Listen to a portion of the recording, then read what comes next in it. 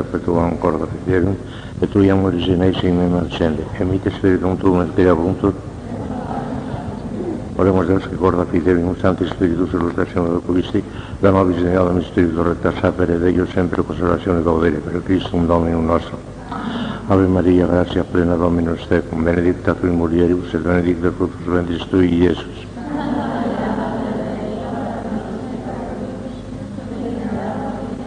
Gloria Patri et Filio et Spiritus Santo. Reina del Santísimo Rosario, San José, Santo Padre Domingo, Santa Teresa de Jesús. Bueno, continuando en esta doctrina de la perfección cristiana en torno a la caridad, bueno, la nueva proposición que les voy a explicar esta tarde dice así, todos los cristianos, fíjense, todos los cristianos están obligados a aspirar a la perfección cristiana. Realmente esto ya está dicho cuando dijimos que la perfección consiste en partir del primer mandamiento. Y como el primer mandamiento obliga a todos los cristianos, pues ya está. Pero vamos a concretar un poco más las cosas para ver cómo se peca si no se cumple el 20 Fíjense bien que decimos todos los cristianos porque efectivamente esto afecta a todos por el mero hecho de estar bautizados. La gracia está exigiendo su crecimiento y su desarrollo y la gracia y la caridad, aunque son dos cosas distintas, son inseparables. La gracia está en la esencia del alma, la caridad está en la voluntad, pero de tal manera inseparables que donde está la gracia está la caridad, donde está la caridad está la gracia, no se puede separar. Se puede separar la fe y la esperanza, porque una persona puede estar en pecado mortal y sin embargo tener fe, pero una fe muerta, pero la caridad y la gracia absolutamente inseparables, donde está uno está también la otra. Bueno, pues esa exigencia del bautismo la tienen todos los cristianos por el hecho de estar bautizados, pero además, y por si algo faltara, está el primer mandamiento de la ley de Dios que se nos exige la, perfección cristiana. Porque ya les dije ayer que si el primer mandamiento este, estuviera formulado de la siguiente forma, amarás al Señor tu Dios y al prójimo como a ti mismo, no estaría mandado a la perfección. Bastaría simplemente con estar en el estado de gracia y ya está, porque no se nos manda. Pero cuando se nos dice en el primer mandamiento, amarás al Señor tu Dios con todo tu corazón, con toda tu alma y con todas tus fuerzas, se nos manda la perfección cristiana. Porque la perfección cristiana consiste en eso, en amar a Dios con todo el corazón, con toda el alma, con todas las fuerzas. Es una, consecuencia del primer mandamiento de la ley de Dios. La Sagrada Escritura además tiene otros muchísimos textos, muchísimos textos. Los, apóstoles insisten en el mandamiento de su divino maestro. San Pablo dice que Dios nos ha elegido en Cristo para que fuésemos santos e inmaculados ante Él por la caridad, que es preciso que, nos esforcemos hasta que todos alcancemos la unidad de la fe y del conocimiento del Hijo de Dios, cual varones perfectos a la medida de la plenitud de Cristo. Ya que la voluntad de Dios es que nos santifiquemos. De Dios es vuestra santificación. San Pedro quiere que seamos santos en todo, a imitación de Dios, que es santo. Sed santos en todo, porque escrito está, sed santos porque santo soy yo. Y el vidente del Apocalipsis, San Juan en el Apocalipsis, quiere que nadie se considere tan perfecto que no deba serlo más. El justo justifíquese más y el santo santifique más. Está clarísimo la escritura. No, no solamente por el primer mandamiento, sino por una multitud de textos. En el Antiguo Testamento ya, en el Antiguo Testamento ya, pero sobre todo en el Nuevo, ya está. Luego el magisterio de la Iglesia, los santos padres, todos. El Concilio Vaticano II tiene unos textos como nunca tan claramente lo había dicho. Ese llamamiento universal a la santidad, la Iglesia nunca, en los 20 siglos de existencia, nunca lo había dicho de una manera tan clara como en el Concilio Vaticano II. El Padre entero se hubiera vuelto de alegría, porque él que insistió tantísimo en que la santidad era para todos, para todos, para los seglares también, el Padre entero.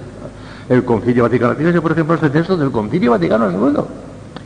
Es pues completamente claro que todos los fieles de cualquier estado o condición están llamados a la plenitud de la vida cristiana y a la perfección de la caridad. Y esta santidad suscita un nivel de vida más humano incluso en la sociedad terrena. En el logro de esta perfección empeñen los fieles todos las fuerzas recibidas según la medida de la relación de Cristo. Concilio Vaticano II, insistiendo en eso. Otros textos del Concilio Vaticano. Quedan pues invitados y aún obligados todos los fieles cristianos a buscar insistentemente la santidad y la perfección dentro del propio Estado, cada uno suyo, cada uno dentro del propio Estado. estén todos atentos a encauzar rectamente sus afectos, no sea que el uso de las cosas del mundo y un apego a las riquezas, contrario al espíritu de pobreza evangélica, les impida la prosecución de la caridad perfecta. Acordándose de la advertencia del apóstol, los que usan de este mundo no se detengan en eso, porque los atractivos de este mundo pasan.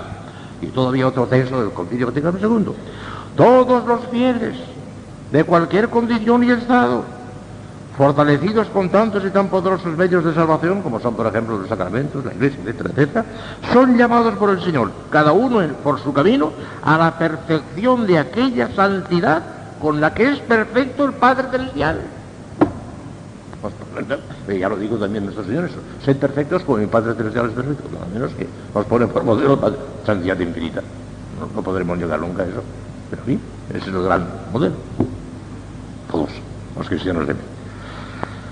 Bueno, si para los cristianos cualquiera, por haber hecho el bautizo, tiene esta obligación sacratísima, calculen ustedes para el sacerdote, en virtud del consejo de consagración sacerdotal, que tiene que ser otro Cristo, tiene que ser otro Cristo, la sal de la tierra y la luz del mundo, y para el religioso o la religiosa, que por una vocación especialísima se ha comprometido a la guarda perfecta de los consejos evangélicos para mayor incremento de la calidad. Los consejos son secundarios, ¿eh?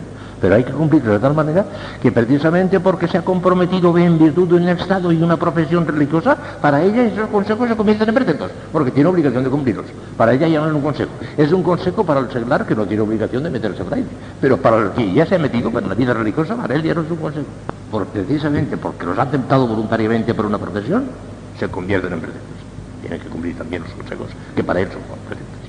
Pero siempre serán consejos, ¿eh? siempre serán por debajo de la caridad, y siempre serán para reforzar la caridad. Tienen por objeto reforzar la caridad, más. Además ya saben ustedes que la única virtud que tiene finalidad final, pues, valga la redundancia, es la, caridad. La única que está orientada a Dios como fin último, la caridad. La única que está orientada al premio esencial de la gloria, al incremento de la misión es la caridad. Ni la fe ni la esperanza ni las otras virtudes. La única que debe relación al grado de intensidad de visión beatífica la caridad. La reina de todas las virtudes con una diferencia enorme, enorme, enorme sobre todas las demás. Pero claro, eso parece que nos plantea enseguida otro problema muy importante. Si estamos obligados, si estamos obligados a aspirar a la perfección cristiana, luego parece que estamos obligados a hacer lo posible para ir practicando en cada caso el mayor bien posible, o sea, la práctica de lo más perfecto. ¿Estamos obligados a hacer lo más perfecto en cada momento de nuestra vida? Porque si estamos obligados a atender a la cumbre de la santidad por la perfección de la caridad, estamos obligados a lo más perfecto, a hacer lo más perfecto. No nos podemos conformar con lo menos perfecto, tiene que ser lo más perfecto. aquí hay que hacer unas cuantas advertencias muy bonitas y muy interesantes, muy prácticas y muy consoladoras, porque algunas se podrían incluso casi desesperar, si les explican esto mal explicado, les podrían desesperar.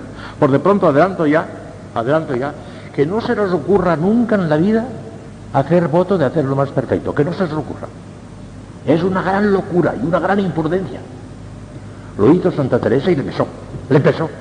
Tanto le pesó que el padre Báñez, uno de sus más grandes confesores, el padre Domingo Báñez, le rebajó ese voto que había hecho de hacer siempre lo más perfecto a dos o tres puntitos, nada más, dos o tres puntitos concretos, porque se ahogaba. Santa Teresa se ahogaba, a cada momento decía, podría hacer algo más perfecto. Pues, no puede ser eso, no lo hagan nunca en la vida. Y si hay algún confesor, me atrevo a decir eso, yo no sé nada en absoluto, hablo en, pura teoría, no sé, créanme que no lo estoy disimulando, lo estoy disimulando, no sé nada de nada. Pero si algún confesor o algún director espiritual, alguno de ustedes, les hubiera aconsejado o por lo menos permitido hacer el voto de, lo más perfecto, díganle de mi parte que es lo importante. Díganselo de mi parte. Yo digo que estoy hablando en teoría, ¿eh? Yo no sé absolutamente nada. Y no estoy disimulando para que disimular. No, no. Pero es que hay gente imprudente, ¿eh? Sí, sí, sí, lo más, pero lo más perfecto. A Santa Teresa le pesó. Cualquiera de nosotros que somos mequetrefes delante de Santa Teresa, vamos a hacer este, este cuando. Tiendan, tiendan a lo más perfecto, tiendan con toda el alma a lo más perfecto, traten de hacer lo más perfecto, tiendan con toda el alma, pero sin voto. Conserven la libertad de espíritu, respiren, que puedan respirar que no se ahoguen. Tienden a lo más perfecto, tienen que tender a lo más perfecto. No tenderían a la perfección si no tendrían a lo más perfecto, porque la perfección se alcanza por los actos más intensos, ya lo hemos dicho muchas veces. De manera que la tendencia lo más perfecto, claro está que sí, que la tienen que mantener y tienen que insistir en ella, tendencia, pero sin voto, para no ahogarse, para poder respirar. ¿Qué pasaría si una persona, pudiendo hacer una cosa mejor en este momento concreto, hace una cosa buena pero menos buena que la otra. ¿Peca? ¿No peca? ¿En qué clase? ¿Qué, ¿Qué pasa aquí? Aquí hay muchas cosas que decir. Imagínense una persona, vamos a poner un caso, podríamos poner 5.000 casos, pero vamos a poner un caso. Una persona está, por ejemplo, haciendo oración y está cómodamente sentada, que no tiene por qué no estarlo, porque no es ningún pecado estar sentado y hacer oración. Pero de pronto, de pronto, instintivamente, no, oye, sería mejor que pusiera de rodillas y hasta, y hasta con los brazos en cruz, estuviera estando sola, por ejemplo, porque no me hagan nunca payasadas. Cosas espectaculares delante de las demás no las hagan nunca. Pero están completamente solas, por ejemplo, y, pues de rodillas y en cruz, parece que sería mejor, porque regalo y oración, dice Santa Teresa, lo acabo de leer en Santa Teresa, regalo y oración no se compadecen. La mortificación añadida a la oración la completa de una manera maravillosa. Regalo y oración, o sea, comodidad y oración no se compadecen. Para que no cabe la menor duda que es mejor hacer oración de rodillas y los brazos extendidos que hacerla sentada.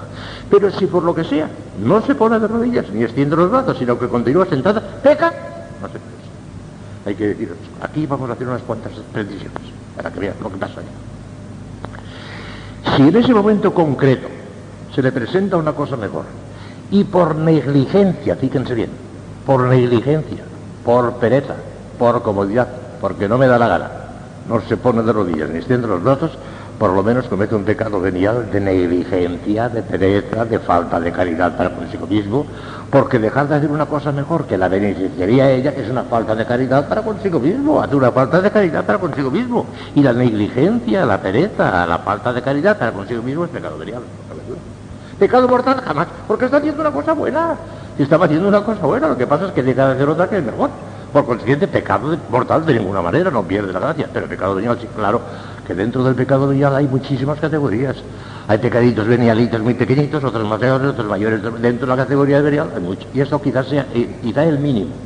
Pero pecado venial de negligencia. Fíjese bien, no por el hecho de que ha resistido a la, porque no ha hecho el acto mejor, sino porque ha habido una resistencia por negligencia, por pereza, por falta de calidad. Y dándose cuenta, porque sin darse cuenta no puede ser ni pecado venial jamás. Lo que hagamos sin darnos cuenta ni pecado venial jamás. Hace falta advertencia perfecta, consentimiento perfecto, aún para el pecado venial. La diferencia entre el venial y el mortal es que el pecado mortal tiene materia grave y el pecado venial tiene materia leve. Pero la advertencia y el consentimiento son necesarios para los dos, si no, no hay pecado, ni venial siquiera. Pero si dándose perfecta cuenta estoy haciendo una negligencia, hombre, no me esfuerzo nada, no, eh, hace un pecado venial, pequeñito, pero pecado venial. Entonces, otros dicen que no hay ahí pecado venial, sino imperfección. Vamos a ver el concepto de imperfección, que esto tiene muchísima importancia. Tiene mucha importancia esto. Se pueden distinguir tres cosas, pecado mortal, pecado venial e imperfección. Pecado mortal es aquel que va directamente y directamente contra la caridad en materia grave, es pecado mortal. Se pierde la gracia, se queda uno a cero, aunque hubiera sido un santo que tuviera ya la gracia en, en, en 100 grados de caridad, baja a cero instantáneamente por el pecado mortal, lo tiene todo la catástrofe de las catástrofes. ¿Qué importa la muerte? ¿Qué importa la enfermedad? ¿Qué importa? No tiene importancia. La única cosa importante, terriblemente importante que hay en este mundo es el pecado mortal. La gran catástrofe, la única. Una guerra mundial, una bomba atómica, todo eso son bobadas. ¿Qué importancia eso? Ante un pecado mortal. Catástrofe terrible. Eso sí. Bueno, pecado venial, ¿qué es? Pecado venial es aquello que no va directamente contra la calidad en materia grave, sino solamente en materia leve. Ahora nos hacemos un daño muy grande. Porque en ese momento que estamos cometiendo un pecado venial es una parada en la vida espiritual, una parada en seco y no solamente en seco, sino que de alguna manera estamos haciendo un rodeo. Y desde luego eso ya tendrá un castigo más o menos grave según el grado de pecado venial, que dentro del pecado venial hay muchos grados, como os acabo de decir, pero el pecado venial ya es una... Mire ustedes, es peor el pecado venial que una guerra mundial. Es venial, es venial, que una guerra mundial. Sí, es que en la guerra mundial se cometen muchísimos pecados, sí, pero considerando como catástrofe humana, no se puede comparar con un pecado venial. El pecado venial es peor, algo terrible. Pero claro, no se puede comparar con el mortal, porque este no nos quita la gracia. Y si nuestro termómetro estaba marcando 100 grados, por muchos pecados veniales que cometamos, ya lo dije ayer, nunca bajará a 99, nunca. Puede bajar a cero por el pecado mortal, pero a 99 por el pecado venial jamás. Lo que ya tenemos adquirido, adquirido queda. Esa es para siempre. Ese queda apuntado en el libro de San Pedro y eso no se borra nunca, no, no baja nunca, nunca. ¿Y la imperfección qué es la imperfección?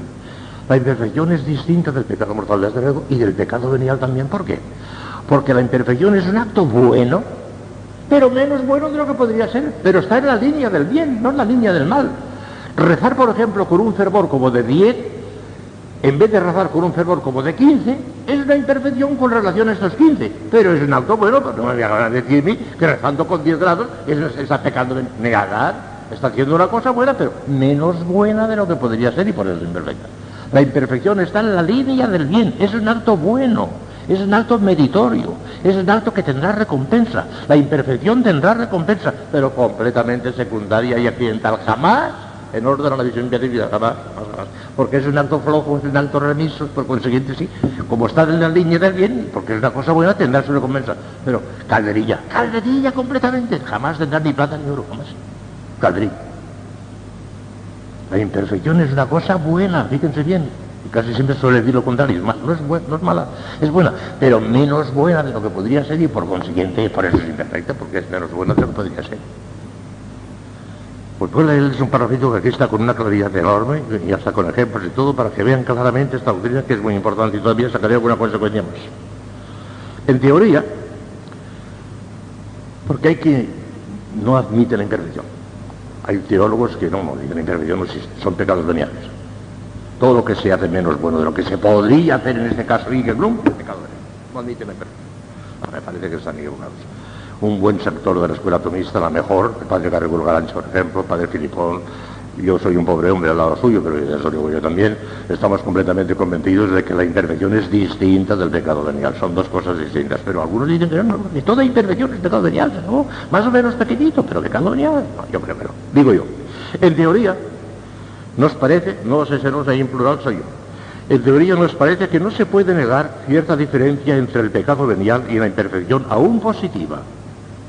Si poseyendo, por ejemplo, el hábito de la caridad, el hábito de la caridad, con una intensidad de 30 grados, hacemos un acto de solo 20 grados de intensidad, hemos obrado remisamente y hemos cometido por lo mismo una imperfección.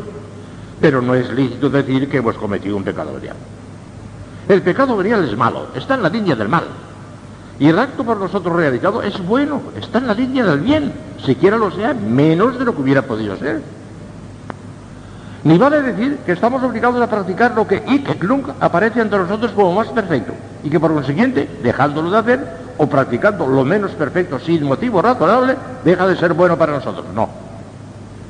En este caso, junto con la imperfección procedente del acto menos perfecto, podrá haber un pecado venial de imprudencia, de pereza, de falta de caridad para consigo mismo, lo que les decía de momento.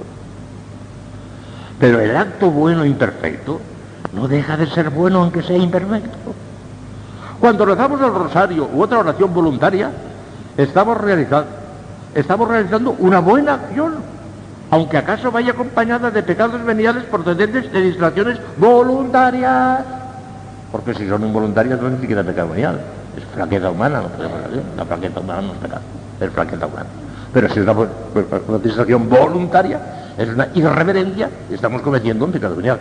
Pero por eso el rosario queda de tal manera que, es una cosa mala, que va a ser mala, es una cosa buena, pero que se ha juntado ahí una cosita imperfecta, que es, claro, o sea, pero sigue siendo un rosario bueno. De lo contrario, habría que decir que el pecado venial sobreveniente corrompe totalmente la obra buena haciéndola mala, en cuyo caso sería mejor no rezar, ya que se trata de oraciones voluntarias, que rezar imperfectamente, lo cual parece absurdo. Más vale rezar, aunque sea imperfectamente, que no rezar. Claro.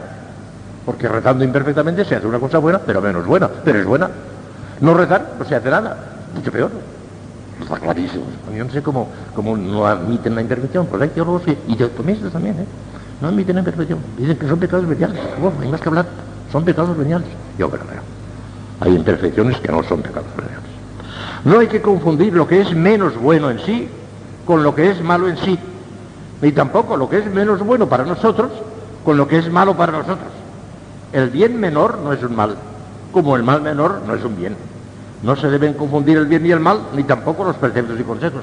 A mí me parece esto evidentísimo, clarísimo. Sin embargo, de todo esto, en la práctica, cuidado, que parece que esto es autorizar las intervenciones. Ah, ya verán ustedes ahora el palo que voy a dar. No se autorizan las imperfecciones, ni mucho menos. Lo que pasa es que hay que distinguir y hay que aprender las cosas y no se ha exagerado ni por parte de más ni por parte de menos. Hay que decir las cosas como son.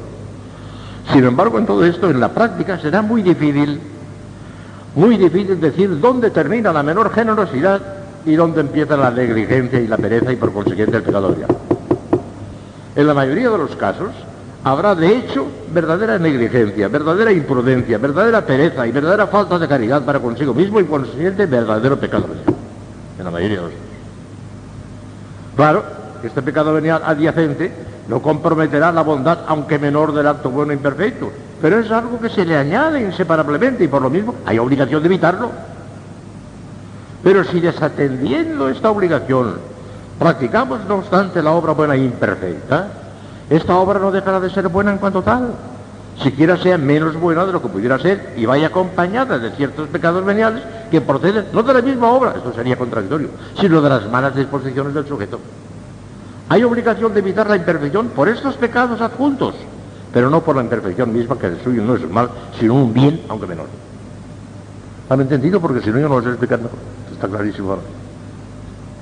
En resumen, y recogiendo ahora la conclusión que se desprende de todo cuanto acabamos de decir en estas dos últimas cuestiones, nos parece que lo más perfecto y que para nosotros nos obliga tan solo bajo imperfección, pero no bajo pecado venial aunque de suyo esa imperfección vaya o pueda ir acompañada de algunos pecados veniales procedentes de las malas disposiciones del sujeto y hay obligación de evitarla por esos otros pecados, pero no por sí misma, ya que en definitiva la imperfección no es un mal, sino un bien, aunque menor. De esta manera, nos parece que pueden armonizarse las dos sentencias, recogiendo lo que cada una tiene de verdadera y rechazando sus extremismos y exageraciones. Las dos sentencias son las que admiten la imperfección como distinta del pecado venial y las que no admiten imperfección como distinta del pecado venial, sino que son todos pecados veniales. Nadie está autorizado para cometer imperfecciones. Hay que evitarlas de todo trance. Pero no porque la imperfección sea un mal, que en teoría no lo es, sino porque casi siempre va acompañada de otros males, pecados veniales adjuntos que es obligatorio evitar. Esto está muy claro. Quiero insistir en dos o tres cositas muy importantes. Primera, no se nos ocurra nunca, pero nunca, hacer voto de lo más perfecto. Jamás. Tiendan a lo más perfecto. Tiendan a evitar las imperfecciones. Si se presenta un caso concreto en el que ustedes ven claramente por inspiración del Espíritu Santo, pero está inspirando continuamente. En este momento esto que estoy haciendo está bien, pero podría hacer esto otro que sería mejor. Hagan eso otro que es mejor. Cuando lo vean claramente, hagan eso otro que es mejor. Enseguida. Si ven que todo conjunto de circunstancias se lo permite, que no hay inconveniente ninguno, que pueden hacerlo, háganlo. Antes se haga lo más perfecto siempre. Siempre. Rechacen las imperfecciones, eso sí, pero sin voto. Para que puedan respirar tranquilos. Para que no traigan el agobio de Santa Teresa que tuvo que pedir dispensa y se la dio. Santa Teresa. Y segundo, tengan en cuenta que las imperfecciones tienen muchísima importancia. Para paralizar nuestra vida espiritual son las imperfecciones las que paralizan. Porque como he dicho, insistiré cien veces, la única virtud que tiene orientación a la visión beatífica es la caridad. Y el acto más intenso de la caridad. Para que el termómetro del grado de visión beatífica suba un grado, tenemos que hacer un acto más intenso. Si hacemos 50.000 actos menos intensos, cada uno de esos 50.000 actos tendrá recompensa. Pero calderilla. Para que suba un termómetro en orden a la visión beatífica, el acto más intenso. Por consiguiente, el acto contrario a la imperfección. Porque la imperfección se podría definir así. Imperfección es lo contrario del acto más intenso. Eso es la imperfección. Esa es la Lo contrario del acto más intenso es la imperfección. Y como si en el acto más intenso no subiera jamás el termómetro un grado más, vean ustedes el daño tan terrible que nos puede hacer la imperfección. La imperfección es la que está paralizando nuestra vida. Si muchísimas veces no cometemos ni pecados veniales. Santa Teresa llegó un momento que casi no se la podía absolver, porque no se, no se acusaba más que de imperfecciones y la imperfección, el que crea como yo, que, que no es pecado venial, no se puede absolver. Si una persona me dice nada más, he amado a Dios menos de lo que debía amarle, no la puedo absolver porque para mí eso no es imperfección, es una imperfección, y piensa en la niña del día. Por consiguiente hay que tener cuidado, que lo que paraliza nuestra vida espiritual son las imperfecciones, las imperfecciones, porque nos impiden el acto más perfecto. Y como ya digo, todo el día y toda la noche no podemos estar en el acto más perfecto porque eso no es posible. Porque eso solamente será posible en el cielo. El primer mandamiento solo lo cumpliremos bien en el cielo, ya lo he dicho muchas veces también. En este mundo no es posible. Pues al menos, hijas mías, ensayemos cinco minutos al día, como ya les he dicho, que tiene una importancia tremenda esto. Cinco minutos de santidad, cinco minutos de intensidad, no apretando los puños, que ya les he dicho en qué consiste la intensidad, afinando, afinando los motivos, Señor, por ti solo. Ya no me interesa la santificación por vivir, si no me interesa. No me interesa el grado de gloria que he de tener en el cielo. Lo que me interesa, lo que tengo una sed insaciable es de glorificarte con toda mi alma. Esto es un acto intensísimo. Y esto se puede hacer sin apretar los puños. Los actos que yo les dicto en esa oración de esplendidez son todos intensísimos. Ahí, ahí, ahí, ahí, ahí, intensísimos. Sin apretar los puños. Todo el día no es posible. Pero algún ratito sí. Empecemos por cinco minutos. Que si efectivamente nos vamos santificando ya llegará un momento en que tendrán que ser diez, que serán quince, que serán cinco horas y por favor un cuartito de hora más, como dijo San Francisco de Borja, un cuartito de hora más, y no le, y no le costaba nada. Pero al menos, al menos cinco minutos al día que si no tenemos ni esos cinco minutos al día, estamos todo el día en plena calderilla. En plena calderilla todo el día, hombre. Al menos cinco minutos de plata y de oro, de oro, de oro, de oro, de plata tampoco de oro. Cinco minutos de oro al día, por amor de Dios, es una importancia tremenda. Ya ven ustedes cómo las imperfecciones, que no son pecados, nos pueden paralizar la vida espiritual. San Juan de la Cruz y terminó. Mañana ya empezaremos otra cosa muy bonita. San Juan de la Cruz dice, a mí qué más me da que un pajarito, un ave, dice él, una vez esté atada a una maroma muy fuerte que a un delgado cabello. Si no lo rompe, no volará. Si no lo rompe, no volará. Y a veces por un apego a una cosita insignificante, ¿eh? por una imperfección que no queremos acabar de romper, una imperfección que ni siquiera es pecado venial, que ni siquiera es pecado venial, pero no queremos romper, paralizada la vida espiritual. El termómetro parado. Calderilla, montones de calderillas, eso sí, pero nada más. El termómetro parado. Es importantísimo. Seguiremos mañana en cosas muy importantes. Ya nos vamos acercando pronto a la mística, verán ustedes también que son cosas que apenas les he hablado, pero les interesan mucho, me parece. Si el Señor bendice y estas conferencitas, estas charlitas, como quieran ustedes darles, pueden ser muy útiles para ustedes. Si después las oyen varias veces ya, porque después se olvidan y al cabo de 15 días no me acuerdo de nada. De cuando en cuando pongan otra vez las casetes, otros años también, y les puede hacer mucho bien. Yo sé que las de Curazao, las de Utuado y demás las ponen de cuando en cuando y, y vuelven a vivir estas cosas. Hagimos que gracias a los omnipotentes Deus, por la universidad de Cristo, que vive el en secular las siete en punto.